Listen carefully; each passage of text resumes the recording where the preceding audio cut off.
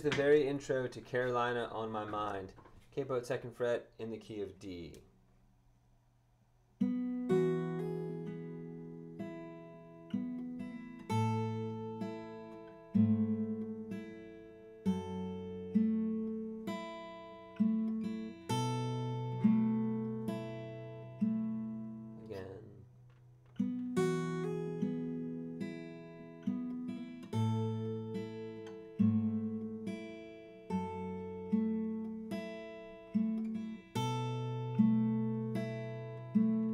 faster tempo, the song sounds more like this.